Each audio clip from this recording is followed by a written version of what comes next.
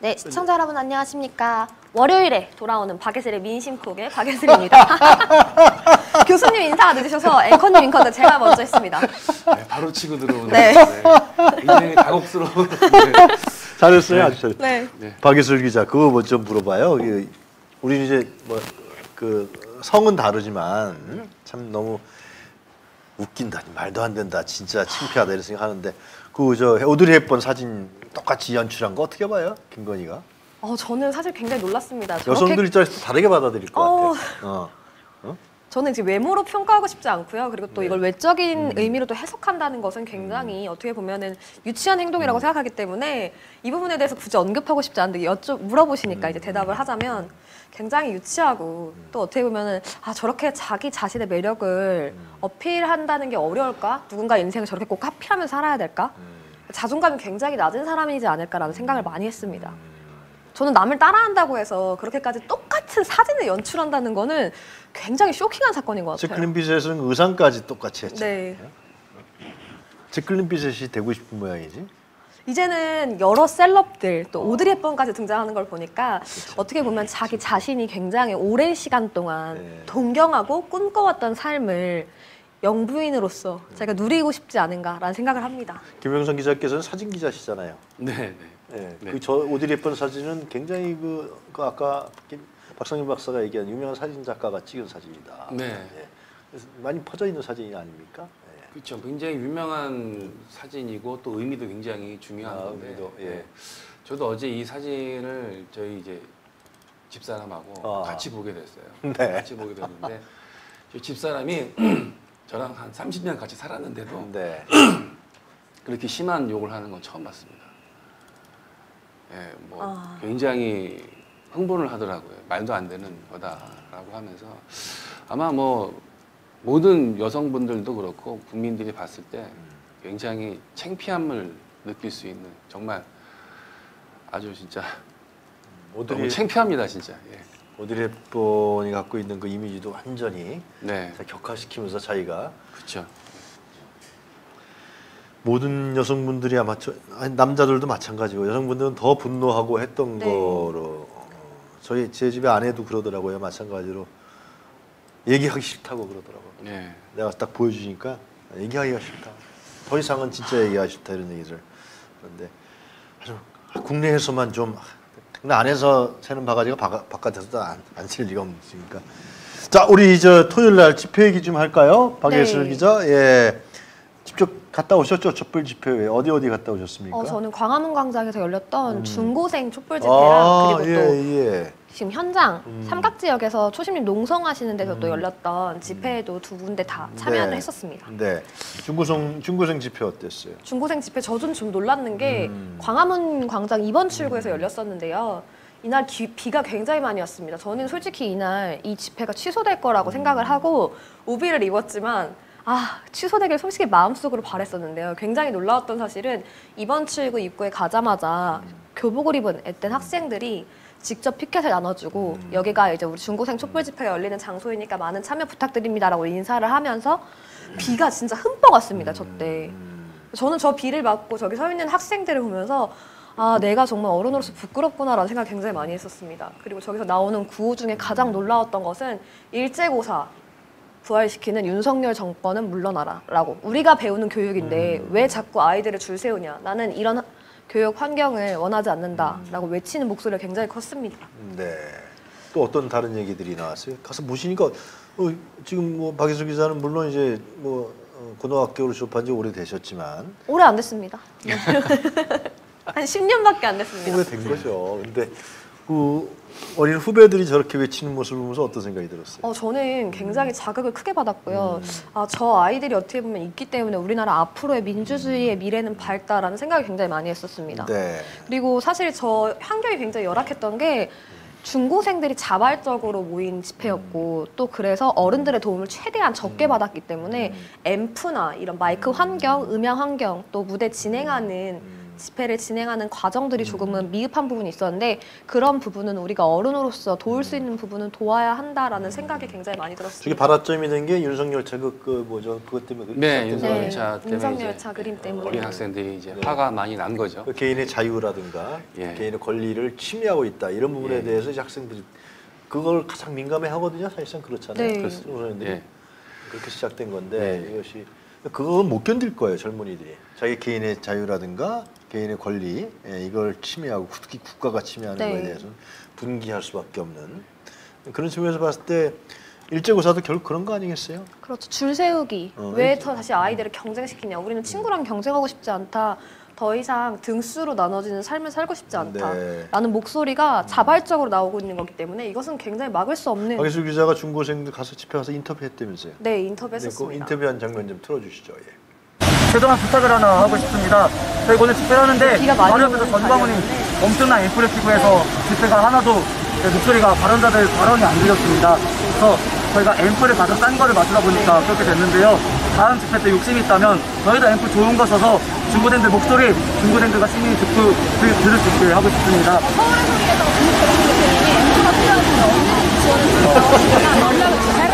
서울대에서 본격 지원 하고 저, 아하, 저분이 이제 중고생 촛불 연합 집회를 어. 주도하고 있는 대표인데요. 음. 저분이 원래 박근혜 대통령 탄핵 때 자기가 자발적으로 중고생 촛불 집회를 주도했었기 때문에 아. 후배들을 위해서 자기가 이제 성인이 되었지만 음. 이 단체 그리고 지금 중고생 촛불 집회가 커질거나 또 앞으로 관리를 하는 데 있어서 도움을 주고 싶다. 그래서 자발적으로 참여를 하고 있는 걸로 알고 있습니다. 매주 매주 나온 이제 한다면서요? 네, 이제 매주 오후 3시에 광화문 광장 2번 출구를 나오시면 중고생 촛불 집회가 열리고 있는데요. 저는 여기서 조금 이제 어른들이 도와줘야 될 역할이 있다고 어, 생각합니다. 어떤 게 있어요? 도와줘야지 무조건. 사실 이 광화문 광장에서 이날 집회를 할 때 전광훈 목사가 주사파 척결 집회를 옆에서 열었습니다. 학생들이 하는데 네, 학생들이 하는데 네, 중고생들이 하는데 네. 참 진짜 할 일 없다.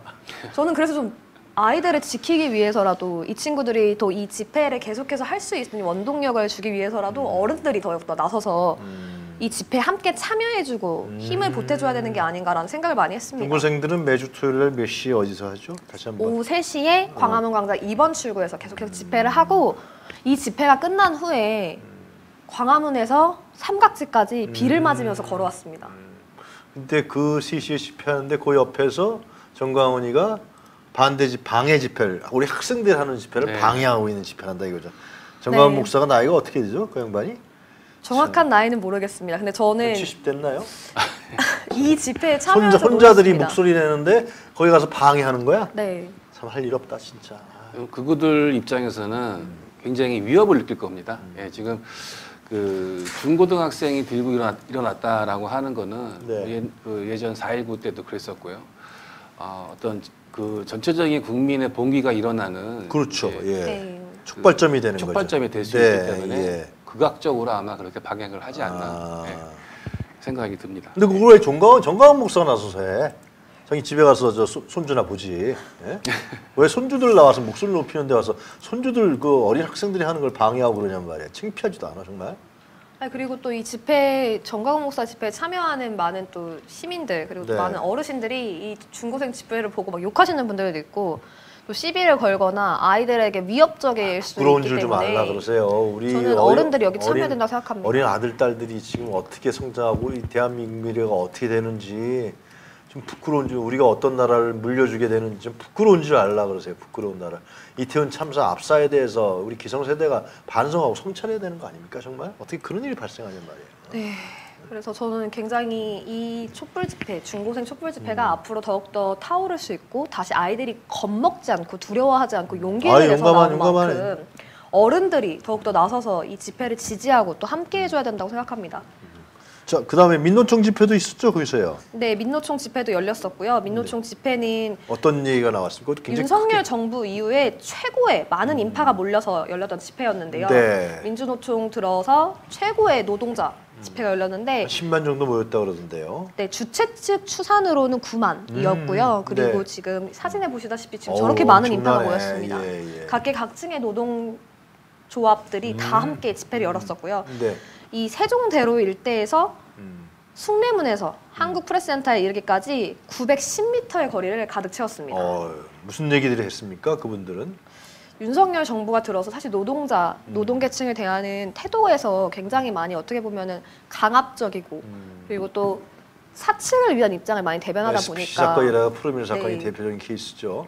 그리고 저 대우조선 해양 음, 파업 노동자들에 네. 대한 것도 그렇고 예. 그러다 보니까 노동자들에 대한 기업의 과도한 손해배상 이제 소송을 막기 위한 노란봉투법 제정을 빨리 해라라는 음, 목소리가 컸고요. 그리고 네. 또 중대재해법 처벌법에 대한 현 정부의 무력화 시도도 중단하고 네. 무분별한 민영화를 중단해라라는 목소리가 굉장히 높았습니다. 네. 그러면서 6시 34분에는 음. 이 집회에 참여하신 모든 분들이 일제히 핸드폰 프레시를 켜서 이태원 참사 추모를 하고 책임자를 6시 처벌하라. 43분에 네, 34분, 목소리가 34분에 높았습니다. 아. 34분.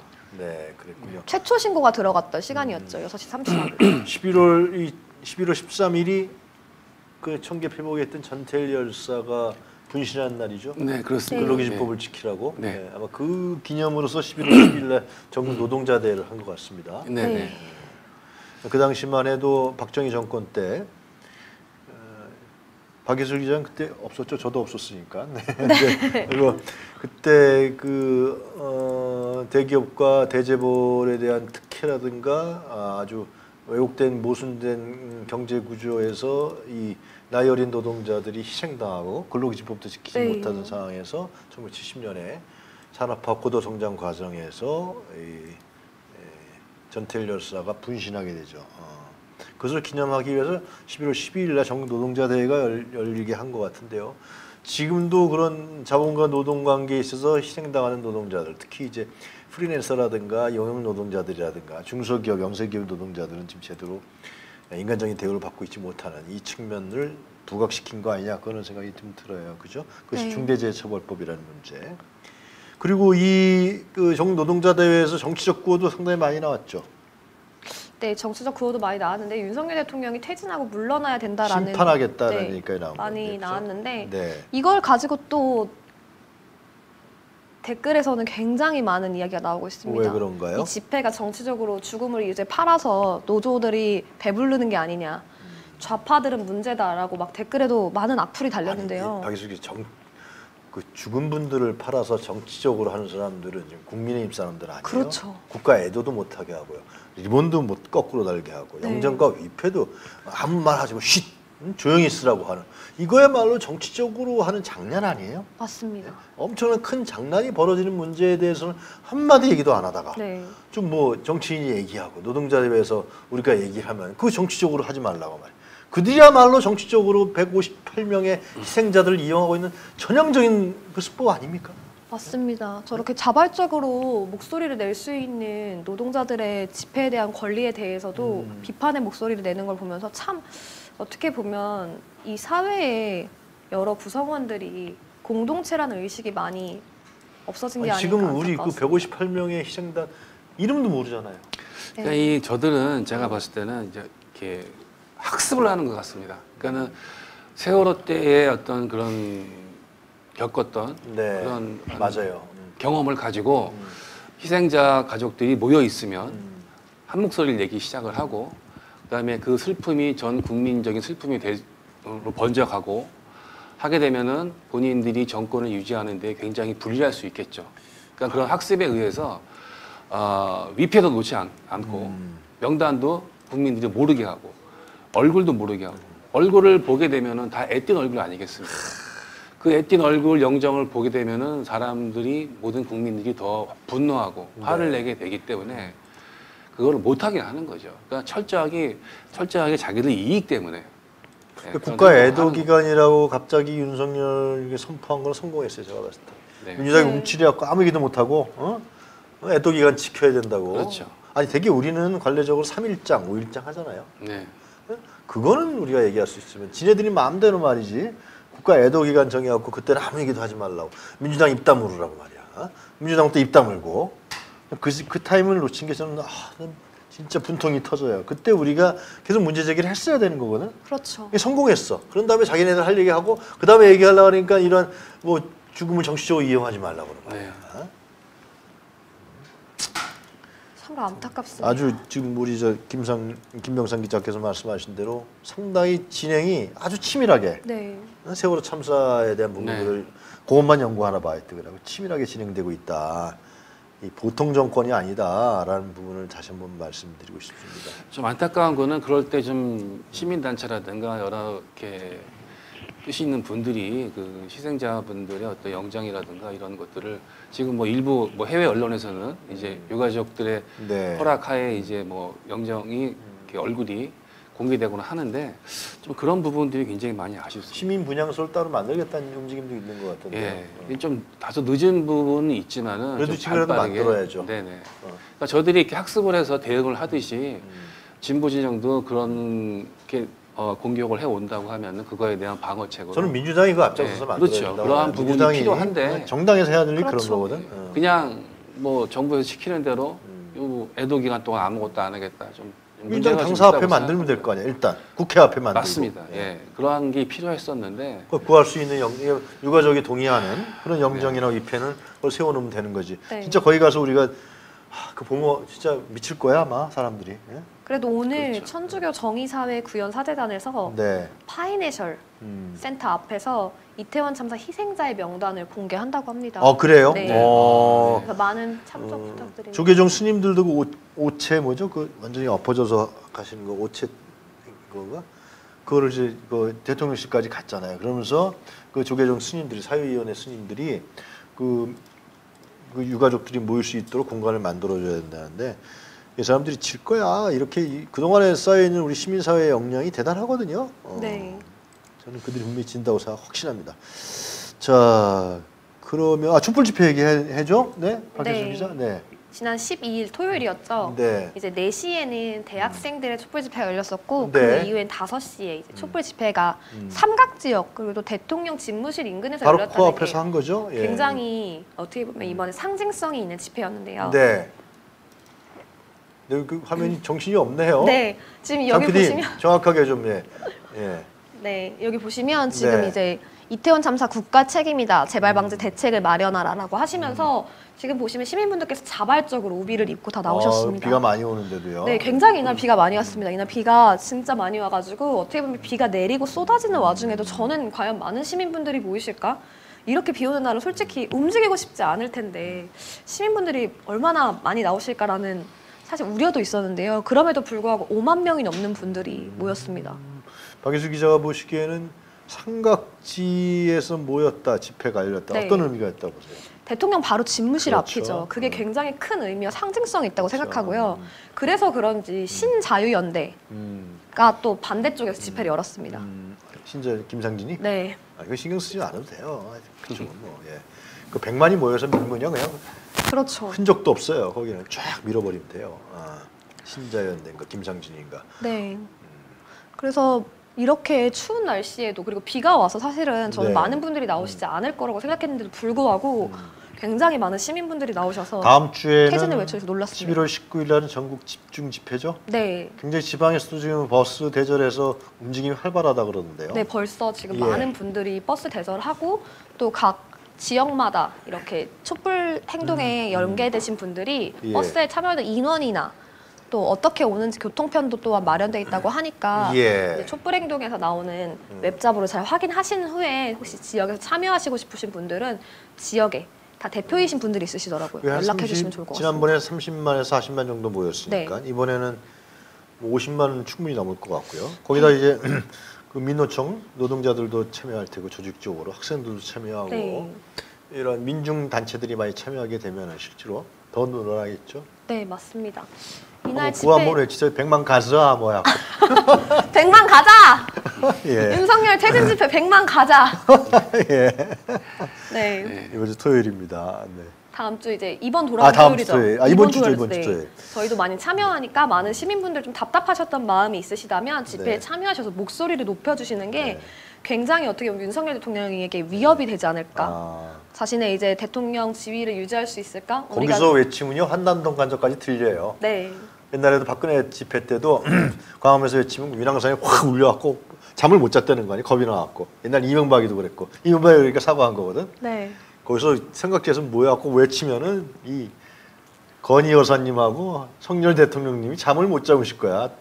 네. 그래서 많은 시민분들이 모여주셔서 함께 목소리를 네. 높여주셔서 우리가 함께 음. 이 윤석열 정권 더 이상 유지하면 안 된다. 라고 퇴진의 목소리를 외쳐주시면 너무너무 큰 힘이 될 것 같습니다. 지난주 목요일부터죠. 어, 네. 김병선 기자께서 취재하셨는데 네. 김병삼의 취재 후입니다. 네. 에, 우리 저 백은정 대표님하고 정대택 회장님께서 네. 그 바로 집무실 앞에서 그죠? 네. 단식 농성에 단식 농성을 시작하셨죠. 오늘로 지금 4일째입니까? 지금 5일째. 5일째네요. 네, 아, 오일째. 건강이 되게 안 좋으시겠네 진짜. 예, 단식 농성 중이, 중이시고요. 네.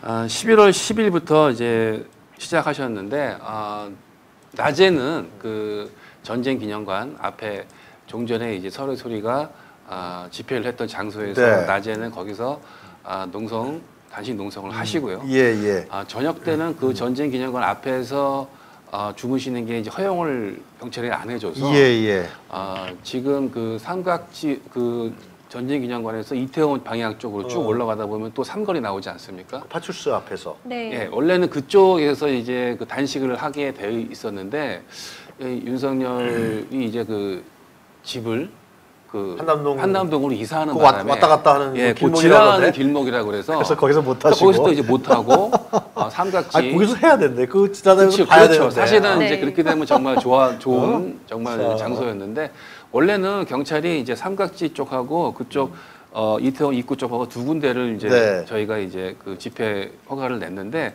어, 삼각지 쪽 아예 처음에는 그쪽을 허가를 안 하고 이태원 쪽에서 하라라고 해서 어. 그쪽을 가려고 했더니 또 아, 대통령이 그로 지나간다고 안 된다. 그래서 지금 삼각지 쪽에서 예. 11번 출구 앞이죠? 그렇죠. 11번 네. 출구 앞에서 5일째 하고 단식. 농성을 하고 계십니다. 예. 사진 예사좀 보시면 아, 예. 예. 정대태 회장님과 네. 같이 예, 하시고. 이 사진은 나오시고요. 제가 이제 목요일 날 가서 찍은 사진인데요. 아, 박예슬 기자가 네. 찍었어요. 네, 이 여- 지금 여기는 전쟁기념관 앞에 네. 그 예.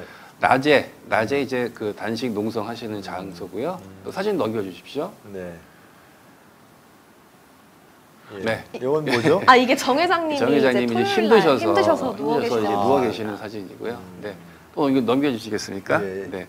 이날에 이제 비가 토요일에 비가 많이 와서 차 앞에 이제 이렇게 비닐로 임시로 비를 막고 예, 또 넘겨주세요. 네, 저렇게 음. 주신님이 어, 이렇게 잠깐 일어나서 있으셔도 또 기력이 힘들어지면 또 이렇게 누워 계셔야지만 오일째니까요. 예, 왔다 갔다 이렇게 하- 하셨거든요. 효소도 좀 간간히 드시는 것 같아요. 네, 네네. 그죠? 효소도 물- 간간히 물만 드시고 드셔서 계십니다. 버티지 예. 못하면 큰일 납니다. 네. 그리고 네. 저기 아 그렇게 하시다가 이제 정 회장님께서는 음. 삼일째 되던 날, 네, 그 토요일 밤에 아 이제 상태가 많이 안 좋아지셔서 네. 병원으로 이제 후송이 되셨거든요. 후송되는 그 영상이 있습니다. 한번 네. 보여주십시오. 네. 정 회장님이 연세가 지금 이른이 넘으셨잖아요. 네, 그렇죠. 일은 셋이 네. 되신 걸로 알고 이번에 있습니다. 단식은 처음 인생에서 네. 처음 하셨다고 그러더라고요. 한 열흘 이렇게 하고 가면은 첫날은 병원에서 주는 게 그냥 쌀뜨물 같은 거 줘요. 쌀뜨물. 많으시고. 가. 빨리 병원 가세요. 네.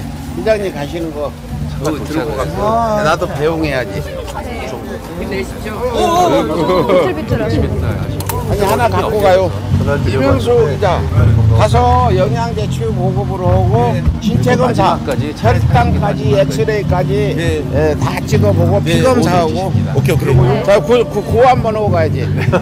예. 스님께서 주가 조작범 김건희를 구속하라! 구속하라! 구속하라! 네, 이태원 참 퇴진하라! 이태원 참사 책임자 오세훈, 이상민, 윤상열을 포함해서 모두 처벌하라! 처벌하라! 처벌하라! 그냥 빨리 가세요. 주소 얼른 맞으세요. 문 닫아드릴게요. 이거 타세요. 어, 어, 어. 아니 노인은 달라. 청년 초심하고 노인 회장님하고 이렇게 차이가 날 줄 몰랐어. 그치? 예, 이제 정 회장님께서는 이제 평생 처음 단식을 하시는 입장이셨고. 예. 예, 그래서 이제 3일을 이제 버티셨지만 제가 봤을 때는 3일 버티신 거 대단하다고 생각이 듭니다. 대단하신 거예요. 네. 음. 그뭐 저기 당뇨도 좀 있으시고 예, 건강이 이렇게 좋, 좋지 않으신데 정말 최선을 다해서 하신 거라고 생각이 들고요. 예. 저도 전, 전두환 때 3일 해봤는데 아. 네. 아 진짜 힘들었네. 진짜 힘들어요. 진짜 하루만 굶어도 네, 하루만 하루만 하루 굶어도 넘기기가 제일 힘들더라고요. 정말 괴로운데 얼마나 빵이 먹고 싶은지 솔직히 얘기하면 좀 오래전 얘기지만 저기 사실 어. 농성 현장 바로 앞이 분식집입니다. 저는 솔직히 아. 그래서 굉장히 초심님이 대단하다고 느꼈던 게 예. 저는 솔직히 하루만 굶어도 힘들 것 같아요. 저건 죽기를 각오하고 하는 거예요. 그런데도 불구하고 정말 제가 어떻게 버티시냐고 여쭤봤는데 정신력과 의지라고 하시더라고요. 그러니까 죽기를 각오하고 네. 싸우지 않으면은 윤석열 네. 퇴진은 김건희 구속이 안 된다라고 판단해서 이제 단식을 시작한 거죠. 그리고 또 하나의 이제 영상이 준비되어 있는데요. 영상 네. 좀 틀, 부- 예, 네. 틀어주십시오. 마이크로 비 오는 날. 네. 옆에서는 아, 촛불 행동.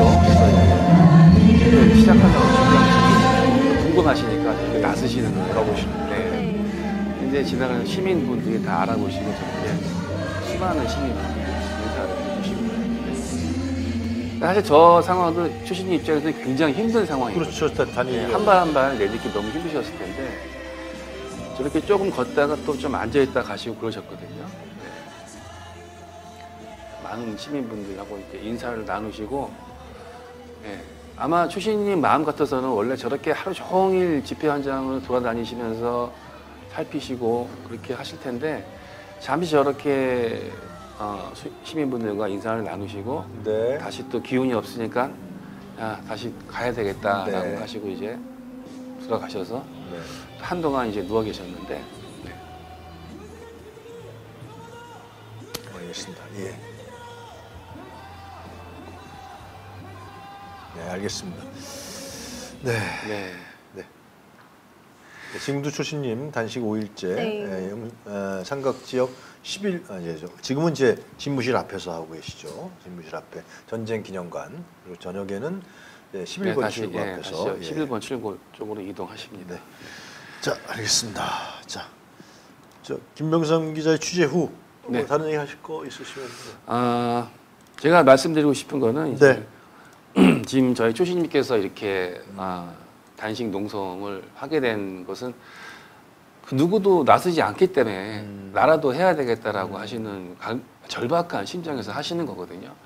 그래서 호소드리고 싶은 것은 어, 민주당 정치권에 계신 분들도 그렇고 그리고 우리 민주진영에서 이렇게 같이 진영이 있- 있으신 분들도 그렇고 좀 뜻을 같이 함께 해서 좀 힘을 모아서 서로 분열하지 말고 음, 예, 힘을 모아서 예, 초신님 이 노구에 힘들게 단식하시는데 그 마음을 좀 음. 알아줬으면 하는 예, 그런 심정입니다. 아마 이게 백은정 대표님과 정대택 회장님, 주심님은 아마 죽을 각오를 하고 싸우지 않으면은 이 정권이 결코 쉬운 정권이 아니라 이런 판단을 아마 하셨을 거예요. 네. 제가 봤을 네. 때 그만큼 이 윤석열 선거에 의해서 탄생한 정부가 더 무섭거든요. 왜냐하면은 총각 칼로 잡은 정권은 명분이 없어요. 정당성이 없다는 것이 백일화에 드러나 있는데 선거를 통해서 잡은 정권은 자기들 선거 때 명, 명분과 정당성이 있다 이렇게 생각한단 말이에요. 그렇죠. 국민들이 한단 말이지. 그렇기 때문에 더 힘들어지는 거죠. 히틀러가 박예수 기자 히틀러가 그냥 정권 잡은 게 아니라 선거를 통해서 잡았어요.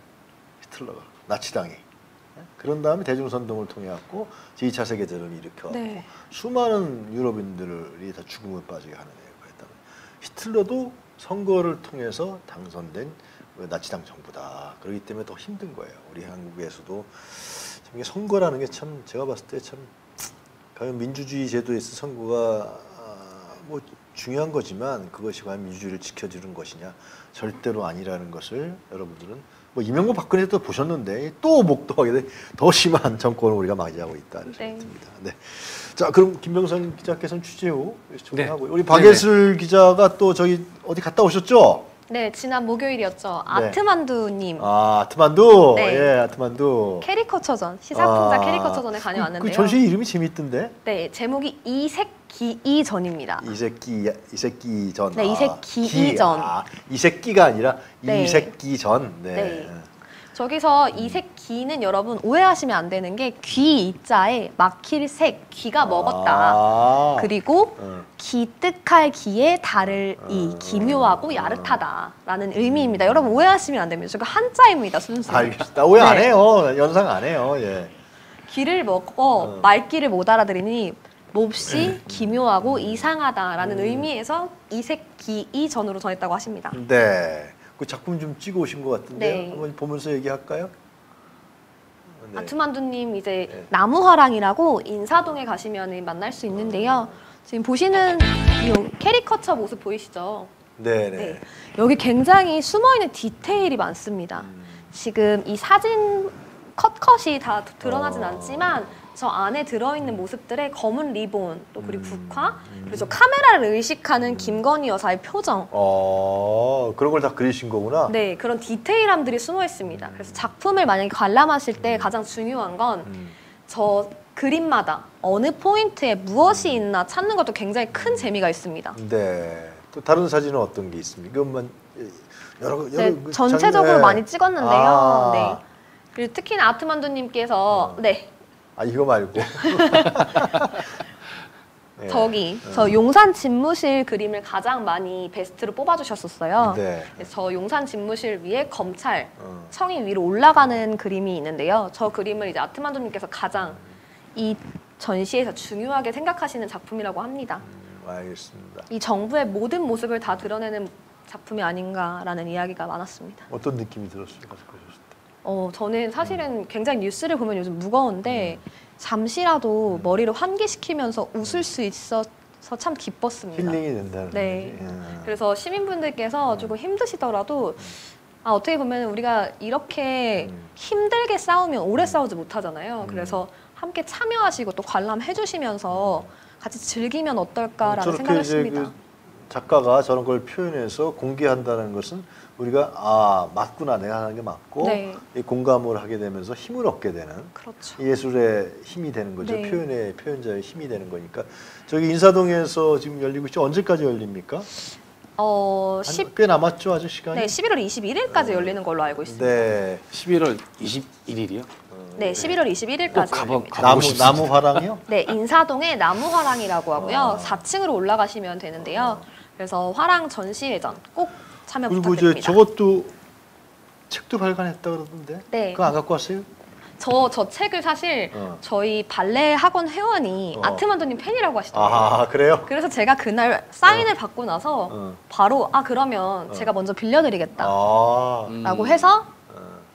좋은 의미로 어. 저 사실 목표는 방구다. 아 라는 목표는 책인데요. 방구다. 방구다. 네. 아, 어, 방구다. 이 한길사에서 나온 책이라고 그래요. 네. 목표는 방구다. 이 책 이 책 안에 다 저 그 뭐야 그 캐리커처가 다 들어가 있죠. 네, 작품이 다 들어가 들어가 있고 있어, 작품 옆에 음. 이 작품이 의미하는 사건이 무엇인가가 들어있기 때문에 음. 저는 정치에 조금 관심이 없는 분들한테 이 책을 선물하면 되게 재밌게 읽으실 것 음. 같다고 느꼈습니다. 저도 집에 가서 보여주니까 그냥 자기들이 먼저 보려고 네. 쟁탈전이 벌어졌습니다. 지금 우리 식구 좋으셨겠네요. 저런 데도 가고 가고 싶은데 김영상 기자는 시간이 제가 갈수 있. 촛불 집회가 단식 농성장을 지키시느라고 네. 다 가면 안 되니까 예. 네, 알겠습니다. 예. 자 오늘 그럼 박예슬의 민심톡 그리고 저 지금 가서 다 동영상으로 촬영을 다 하셨죠. 저거는 우리 그 톡 톡터뷰에서 톡터뷰에서 이제, 이제, 네. 편집해서 보여줄 생각이시죠? 네, 언제 언제. 하실 거예요? 어, 아마 이번 주 수요일 안으로는 아, 틀지 않을까라는 편집을 하셔야 생각합니다. 되니까. 네. 네, 알겠습니다. 이렇게 하겠습니다. 오늘 박예슬의 오늘은 박예슬의 민심 콕이죠. 네, 민심 콕입니다. 콕, 예, 네. 콕. 김병상 기자의 취재 후 예. 오늘 월요일마다 이렇게 내용 준비하셔서 주시면 시청자분들이 좋아하실 것 같아요. 네. 네, 오늘 정리하겠습니다. 감사합니다. 감사합니다. 예. 윤석열의 친일 커넥션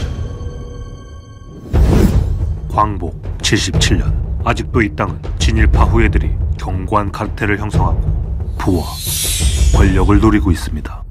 공정과 상식을 외치는 자신들의 비리를 덮는 이 모순된 세력들이 대한민국을 다시 일왕의 나라로 만들기 위해 혈안이 되어 있는 것입니다.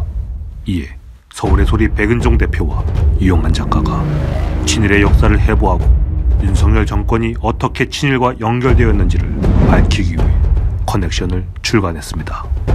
일제강점기 독립자금을 보내주는 마음으로 일독을 권합니다. 민주양심 세력에 많은 성원 부탁드립니다. 감사합니다.